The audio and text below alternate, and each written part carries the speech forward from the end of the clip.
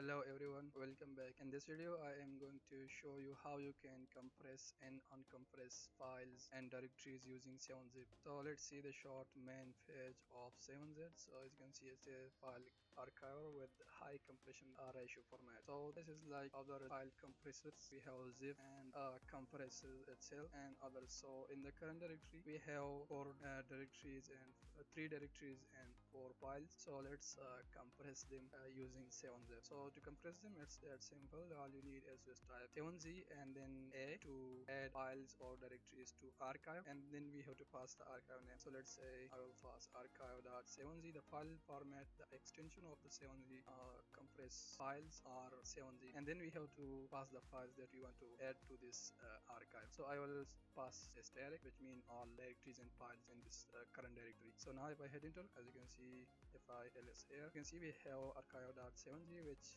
is the archive that we created. And it will contain all the directories and uh, files that uh, exist in the current directory. So if I check this by file so file archive.7z and as you can see it says archive.7z is uh, 7-zip archive data and it's version 4 so now let's uh, uh, decompress them. So for that i will create a directory. I will create a directory let's say archive and i will move this over there. So move archive.zip to archive directory and if now we cd to that directory we will have that now let's uh, decompress this. So to decompress the, uh, the 7-zip archives all you need is to type 7z uh, and then x flag for uh, decompressing and uh, extracting files in directories from 7z archive. And then you have to pass the archive name. So in this case it is archive.7z so now if I hit enter you can see we uh, decompressed the files. If I ls here you can see we have uh, let's tree this so we can see it in a better way. So here we have uh, three directories and five files. The one file is uh, archive.7z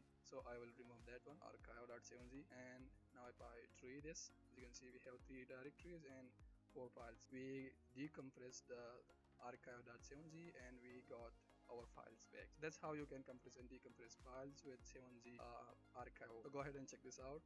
Uh, for more information regarding this are other flags as well you can check the main page of 7z as you can see here we have uh, a flag and then uh, we use the x flag which extract files at full file and a flag is used to add files to archive and there are other flags as well and we have some other information regarding this. So go ahead and check this out and make sure to subscribe for more. Thanks for watching and i will see you in the next one